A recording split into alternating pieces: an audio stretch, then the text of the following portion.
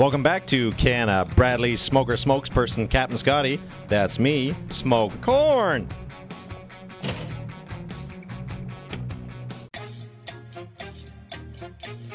You got your smoke pucks. You got a little hickory and apple and cherry today.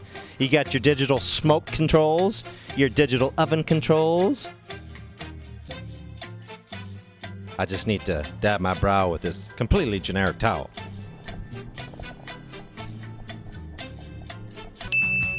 Now, can a Bradley smoker smokesperson smoke corn for smoked corn chowder?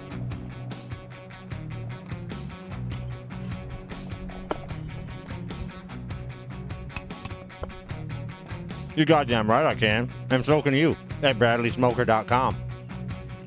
Mm-mm-mm. Smoky.